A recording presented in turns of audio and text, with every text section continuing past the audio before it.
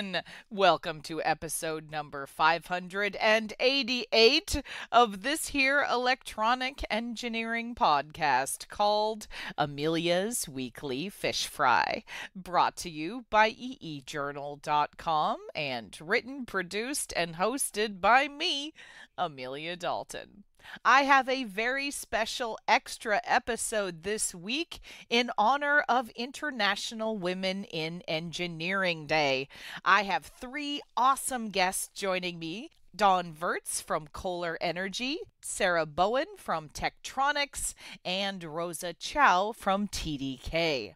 I sat down with each of these esteemed engineers and discussed their journeys into the world of high tech, how the EE landscape has changed over the years, and what they would like to see in the future of engineering. First up, I would like to welcome Dawn Vertz from Kohler Energy. Hi, Dawn. Thank you so much for joining me.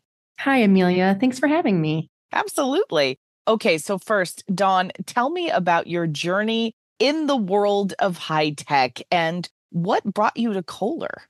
You know, I started out this journey prior to 2006. I joined Kohler, now energy business.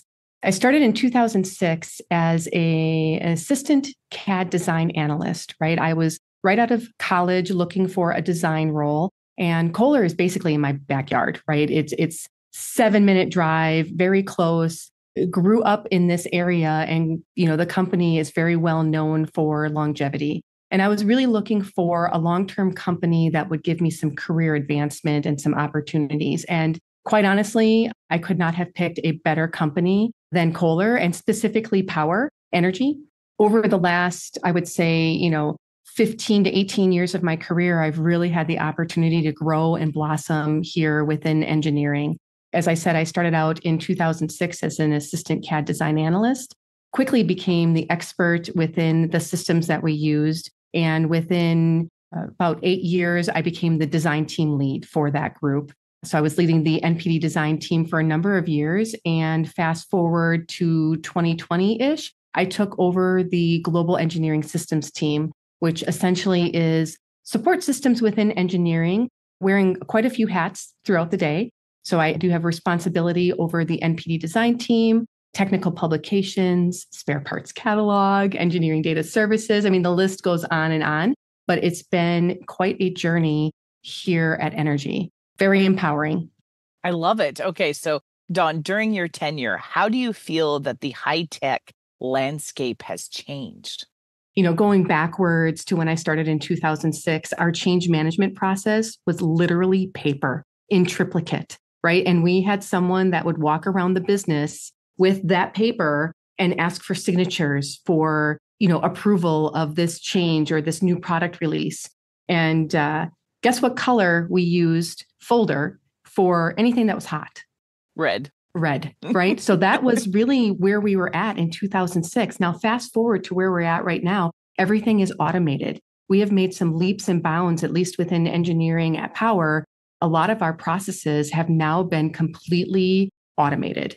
Everything is digital. There's no more walking around with papers, right? It's a lot of automation for our change management process, how we do design, iterative, regenerative design, how we bring and launch products to the market has all changed in the last 15 years. It's quite amazing.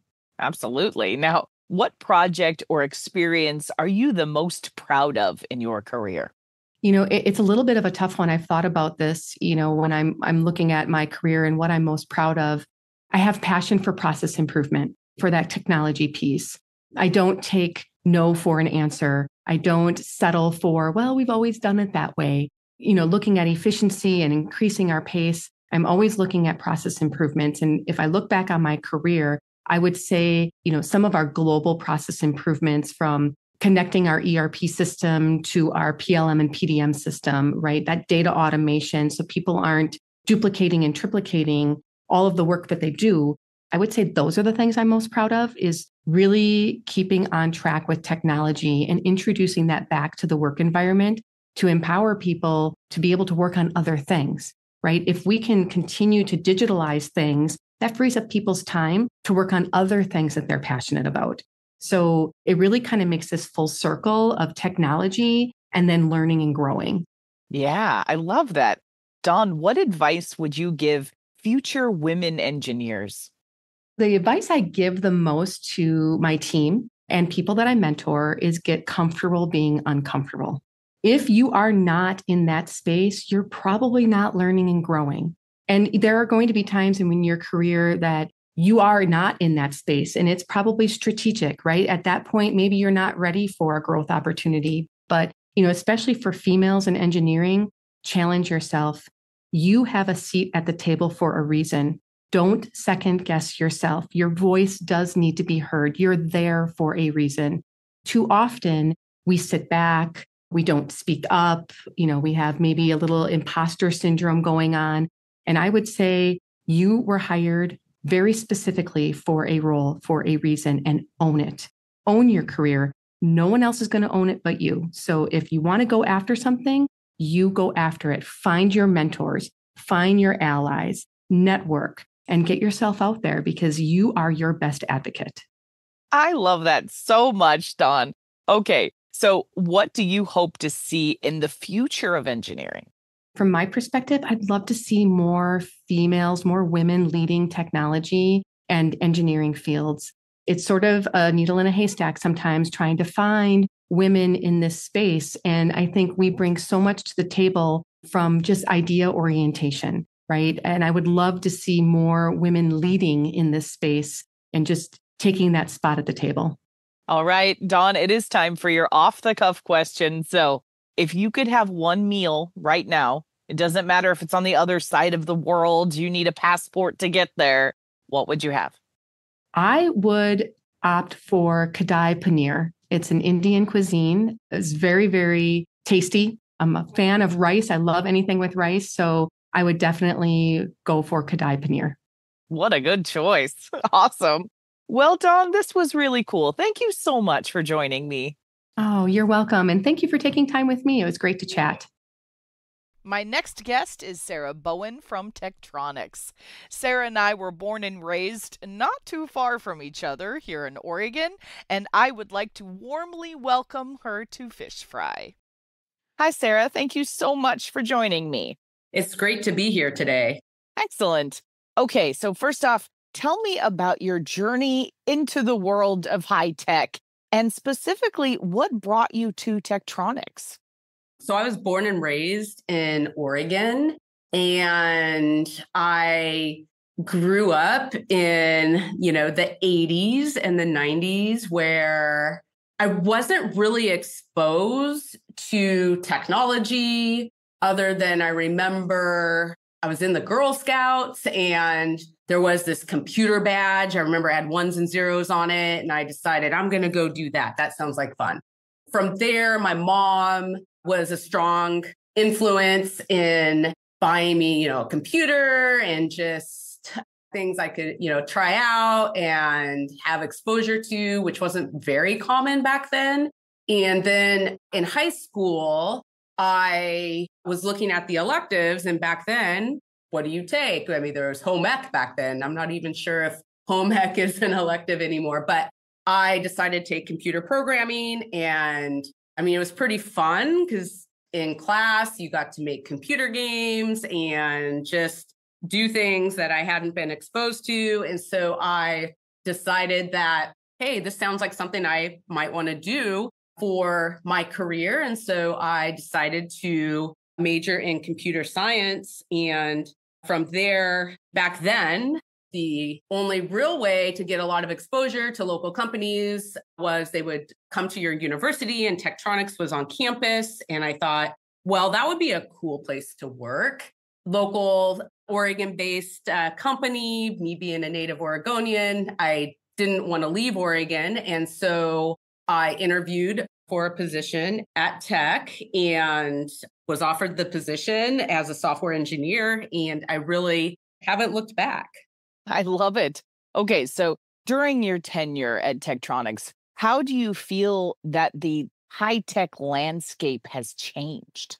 Okay. When I started in 1998, the, you know, internet and broadband, that was just becoming a thing. I can't remember exactly when I started, if dial up was still, I think it was still the primary way to access the internet. So the biggest change is just the digitalization of everything that we do. I remember printing transparencies to present presentations at work and just struggling with the printer, getting those done at the last minute to share, whether it was like a code review or a design review. And I think that the internet, the access to data has really changed the tech landscape more than anything in my career. And of course, now with generative AI, that's the new big, you know, inflection really driving the tech industry and, you know, driving our customers, but also driving us and how we innovate in terms of internal productivity, but also how we add, you know, more value to our customers. So I'm going to go with the two big ones being at the start of my career with the internet and digitalization. And then right now, we're in the middle of this big inflection point with uh, generative AI. For sure. So Sarah, what advice would you give future women engineers? My biggest advice would be to build a support network and to be very proactive and go for it. And I think that it's really important to have a group of other women that you can reach out to, talk through issues or challenges with or you know talk about career development. And so for me i personally have you know my small group of females that i work with and use as my support network. And I didn't really have that early on in my career, but I think it's invaluable, especially working through challenges that you may face in your everyday, not just your career, but your life in general. It's just great to have those uh, relationships. I agree. So here's a big one for you, Sarah. What do you hope to see in the future of engineering? I hope to see even further diversity and not just, you know, gender or race, but also economic background, I think that we still have a big opportunity to enable a bigger workforce through awareness in you know rural areas areas where kids may not be exposed as much to technology. So i think there's a big socioeconomic component to really driving our future. I firmly believe that diverse teams are the best teams. And again, that also encompasses how individuals were brought up, the experiences that they have in life. That is great. I completely agree with you, Sarah.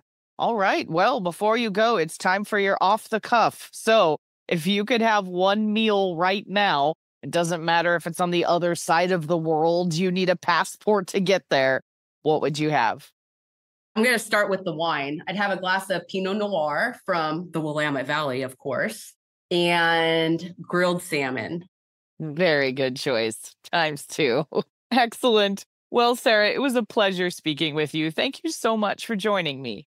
Perfect. Thank you for having me. This was a great experience. Last but certainly not least, I would like to bring in Rosa Chow from TDK. Hi, Rosa. Thank you so much for joining me. Thank you for having me. Okay, so first off, tell me about your journey in the world of high tech and what brought you to TDK. I would say it started about the time when my parents got me an Intel 286 8 megahertz PC. I was probably around 11 years old. I was coding in the Microsoft DOS uh, prompt and I didn't know what I was doing, but I was really enjoying myself until I made the PC went blue screen. And then thereafter, I took it apart and I realized that it's really something I enjoy. Technology is something that I really enjoy. playing with hands on and the curiosity was really drive me into everything about technology. Then moving to maybe more in after high school, I was determined to study accounting. I was admitted into business school. I felt accounting in the first semester. And the business school coincidentally was right next to the computer science and engineering building. I walked over there and I thought to myself, like, this may be a place where I want to learn more, a place where I want to spend more time, maybe the rest of my career. And lo and behold, I ended up in studying computer science and engineering. After I graduated from computer science and engineering, about maybe early 2000, the first decade, I started working in a pretty established semiconductor EDA company. On the side, I was working on a garage project and what we would probably call today IoT. I went to Radio Shack, I went to Fry's, I purchased microprocessor and electrical switch, and I hacked together a system where I was basically very, very tired of getting up every time when we need the lights on. And I thought to myself, well, why can't I just use my phone to turn on the lamps remotely?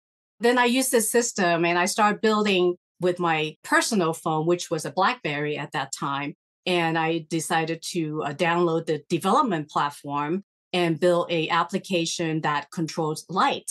And because of this project, I came to know that I was very interested in consumer products. And I decided to join a company called InvenSense at that time. It was a late stage pre IPO and thereafter was acquired by TDK. So that's how I was uh, brought into TDK. That's fantastic. Okay, so Rosa, during your tenure, how do you feel like the high tech landscape has changed? I believe the software development in semiconductor has really become a very vital technology, not just in enablement, which means helping customers to deploy the product faster, such as building platform and SDK, but also improve quality, easy to use software tools, and building the infrastructure such that it is easy to iterate silicon design but also it speed up the time to market because there are a lot of innovation. We're in a very fast paced, innovative technology era these days. And adding new features and spinning silicons is very expensive and it takes a certain development cycle. And with software be really baked into the silicon design, it really shortened the development cycle. By doing so, it saved time and hopefully save money as well. Rosa, what project or experience are you the most proud of in your career? I see that the most recent project that I worked with the team is putting machine learning models to our tiny motion sensor. And this project has been really interesting because artificial intelligence, machine learning is a very huge topic. And I was very fortunate to have a very incredible, talented team that really look at the pain point of the end user. What is the problem that we're really trying to solve? And really, how do we turn those problems into machine learning methodologies? How do we turn raw motion data into something very useful information? How you move and when you move and when do any of these movements actually matter? That really helped to increase and better the user experience. And not only that, understanding the application is one thing, but how do we streamline these applications into a tiny computer domain where we're consuming somewhere between 10 to 20, 40 microamp? And that's where marrying the software and hardware piece, I thought this project was from end to end. I was just really proud of the team to be able to deliver such a low power, tiny computing efficient and, and sustainable product. All right. So, Rosa, what advice would you give to future women engineers? We all live in very busy lives, and I guess men and women stay current with the technology trends. You know, try our best to continue to attend industry conferences, technology events, definitely, if we don't have the time, subscribe to tech news, listen to podcasts, prioritize learning. I think in these days and age, we have to keep up with the innovation and the trends. I think it's something that really dear to me. And the second part is I think we're very fortunate to live during this time. As women, we have a lot more opportunities than, say, 40 to 50 years ago. I like to remind myself and maybe others that your achievement belongs to you. And definitely don't be shy to celebrate your success and celebrate more. This is something that I do and also tell my fellow women engineers as well. What do you hope to see in the future of engineering? I would like to see, and maybe let's back up a little bit. In the traditional engineering education schools, there are two distinct school of thought, which is hardware, electrical engineering schools versus software, computer science schools. And then there's everything in between that not oftentimes we learn in universities or in, in our college education. And a lot of times those were learned by experience, by coming out to the workforce. And I think for future engineer, I really would love to see these two disciplines to be taught in school as integrated curriculum. How do we design hardware for software applications that really solving real life problems? And how do we design software that really optimize the hardware and really exploit the best out of the hardware in you know the most sustainable way? And I really believe, you know, have that infrastructure in place early on in our education system, and that will really help the future engineers to build the best in class product. Excellent. All right. Before I let you go, Rosa, it is time for your off the cuff. So, if you could have one meal right now, it doesn't matter if it's on the other side of the world, you need a passport to get there. What would you have? I would like to have a Michelin star experience in France. That would be it. I think everyone would. That is a great answer. well, Rosa, it was a pleasure speaking with you. Thank you so much for joining me. Thank you.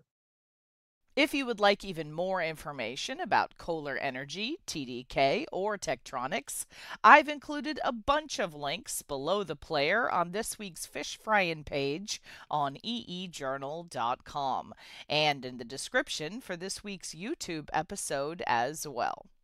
Hey, have you checked out EE Journal on social media yet? Well, you should. You can find us at facebook.com slash eejournal. If you're into X, you can monitor our tweets at eejournaltfm. And don't forget, if you would like to follow my personal account, check out Amelia D. 1978. And hey, if LinkedIn is more your thing, I dig it. You can follow us or me on LinkedIn as well. And we are now on Blue Sky Social and Mastodon too. And we have a YouTube channel, youtube.com slash eejournal. Folks, it is chock full of all kinds of techie videos, including our very popular Chalk Talk webcast series, hosted by me. And of course, you can subscribe to our EE Journal YouTube channel as well. Also, make sure that you subscribe to this here podcast on Spotify, Podbean, Apple Podcasts, or just about any other podcasting platform to listen to some exciting upcoming episodes. Thank you, everyone, for tuning in. If you know of any cool new technology or heck you just want to chat, shoot me a line at Amelia, that's A M E L I A, at eejournal.com, or post a comment on our forums on EE Journal. For the week of June 26th, 2024, I'm Amelia Dalton, and you've been fried.